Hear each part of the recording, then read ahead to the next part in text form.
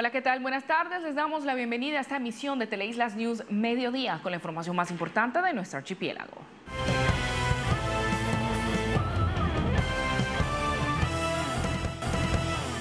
Un nuevo banco de materiales llegó al departamento gracias a la organización Techo Colombia. Arriba al departamento a bordo del buque ARC Golfo de Urabá de la Armada Nacional materiales que ayudarán en la reconstrucción de diferentes casas que se vieron afectadas por los huracanes ETA e IOTA. De esta manera se creará un banco de materiales que ayudarán en esta reconstrucción. Todo esto gracias a la organización Techo Colombia que vamos a realizar son dos proyectos diferentes. En primer lugar, eh, vamos a apoyar con un banco de materiales, son los materiales que pueden ver detrás mío. Se van a entregar ayudas para que las familias mismas eh, puedan reparar daños menores que hayan sucedido eh, en sus techos, generalmente la mayoría a causa del huracán Iota, y que no se han podido reparar por dificultades económicas, por costos del material o por otras razones.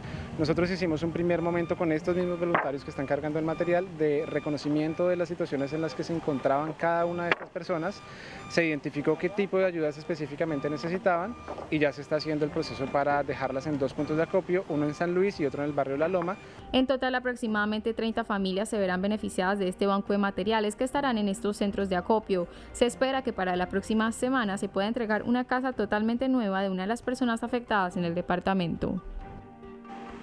El director de la Unidad Nacional de Gestión de Riesgos se encuentra visitando la isla y constatando los trabajos que se deben realizar en San Andrés y Providencia. El director Eduardo José González se encuentra en el departamento Archipiélago. En su parada por San Andrés se reunió con personal del gobierno, donde se manifestó que el encuentro tiene como finalidad revisar las acciones de preparación para las respuestas a emergencias del próximo simulacro nacional de evacuación que estaría realizándose el próximo 7 de octubre. Asimismo, continuando con la agenda, realizó seguimiento con el Consejo Departamental de Gestión de Riesgos a todas las acciones desplegadas por la unidad en el archipiélago en el marco de su reconstrucción. Como Unidad Nacional de Gestión del Riesgo de Desastres vamos a estar en varios temas fundamentales. Primero, el tema de los subsidios de arriendo para las familias que lo han tomado. Segundo, el tema de las obras que estamos adelantando con el Ministerio del Interior, la estación de bomberos, la eh, alcaldía, la estación de la policía. Vamos a estar también verificando el tema de la planta desalinizadora junto con el ministro de Vivienda, Ambiente, Ciudad y Territorio. El tema de eh, el trabajo comunitario que se puede hacer en los próximos días y muy especialmente el tema de la vivienda. Es de destacar que en horas de la mañana del día de hoy, el director se desplazó al municipio de Providencia para estudiar los trabajos de reconstrucción realizados en la hermana isla. En nuestra emisión central tendremos más noticias sobre la visita y a través de una actividad educativa, la institución Flores Hill CD Manuel imparte a sus estudiantes la importancia de la agricultura no solo como una forma de supervivencia, sino también como un ingreso económico.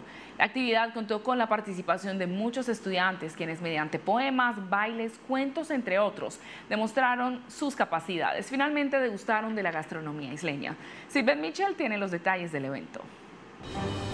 Hola Lisa, ¿qué tal? Muy buenas tardes. Bueno, así aquí, desde el Colegio Florasil, sede Emanuel, estamos aquí, subimos durante toda la mañana con los estudiantes de este colegio en una actividad muy bonita bajo el lema Sembrando, Aprendiendo y Cosechando Conocimientos para la Vida, una actividad que se realiza de acuerdo con la coordinadora de esta sede de la institución hace eh, algunos años, desde el 2019, y esta actividad tiene el único objetivo de concientizar a los niños, una jornada de sensibilización en donde se concientiza y se le enseña a los niños que la agricultura es muy importante en nuestra isla como un método de supervivencia. Eh, desde el año 2019 nosotros hemos venido implementando esta estrategia de enseñar a los estudiantes a cultivar, a ser grandes cultivadores porque sabemos que eh, hemos pasado por una pandemia donde las cosas fueron, el tiempo fue difícil y mediante la siembra y la cosecha de productos agrícolas podemos sostener nuestra familia.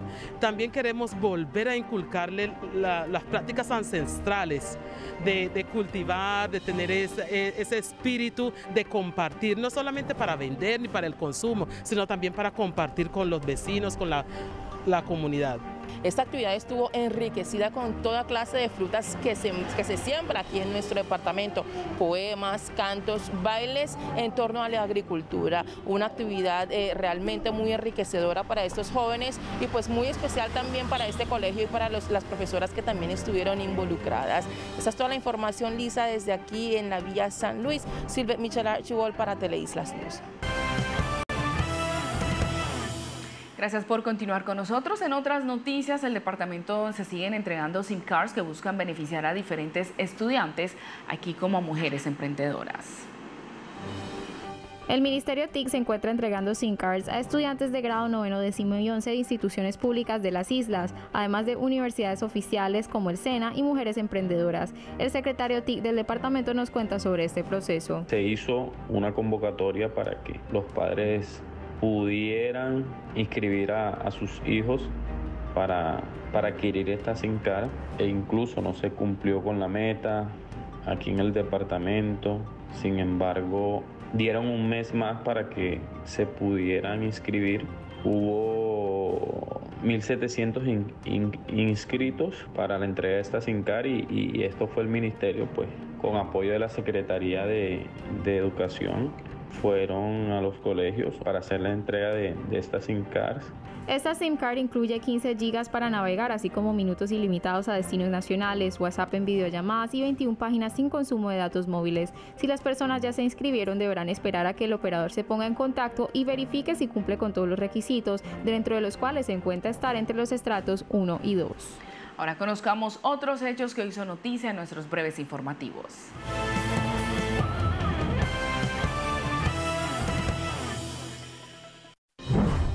El equipo de educación ambiental de la Corporación Ambiental Coralina realizó capacitación y malla curricular Herencia Raizal en la institución educativa Antonia Santos Inedas. También se entregaron herramientas digitales. Además, los alumnos de décimo y undécimo recibieron información sobre la importancia del agua en estos momentos ante el cambio climático en el mundo. La Policía Nacional del Departamento Archipiélago, a través de su Grupo de Prevención y Educación Ciudadana, realizó actividades de promoción y difusión de la línea orientación a mujeres víctimas de violencia 155 en diferentes sectores de la isla, con el ánimo de incentivar la denuncia ciudadana y la ruta de atención en casos como estos. Mediante visitas puerta a puerta y charlas por parte de los uniformados, se busca la reducción de este delito.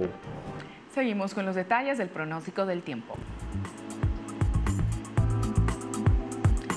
Pronóstico del tiempo para hoy 3 de septiembre. En el área costera del archipiélago el cielo está mayormente nublado. La temperatura ambiente es de 29 grados centígrados con viento de dirección noreste con intensidades de 16 kilómetros por hora. Se pronostica humedad de un 79% y probabilidad de precipitaciones del 16%.